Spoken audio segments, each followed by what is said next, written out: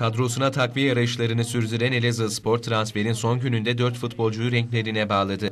Ara transfer döneminde şu ana kadar İstanbul Başakşehir'den Zeki Korkmaz, Kayseri Spor'dan Taner Yalçın, Antalya Spor'dan Murat Sözgelmez ve Şanlıurfa Spor'dan Serdar Özbayraktar'ı kadrosuna katan Bordo Beyazlılar, Beşiktaşlı orta saha Muhammed Demirci, Malili sağ kanat oyuncusu Hamidou Traore, Kazakistanlı forvet Igor Zenkovic ve Şanlıurfa Sporlu stoper Kemal Tokak'ı renklerine bağladı. Yeni transferlerden 1995 doğumlu olan Muhammed Demirci, Beşiktaş altyapısında yetişti. Orta alanda görev yapan ve bir dönem Barcelona Barcelona'nın da gündemine gelen Muhammed, sezon başında kiralık olarak PTT birincilik ekiplerinden Gaziantep Büyükşehir Belediye transfer edilirken, ilk yarının sona ermesiyle birlikte Gaziantep Büyükşehir Belediye Muhammed'in sözleşmesini feshetti.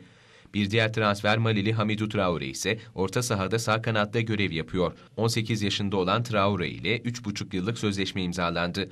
27 yaşındaki Kazak futbolcu Igor Zenkovic ise forvet pozisyonunda görev yapıyor.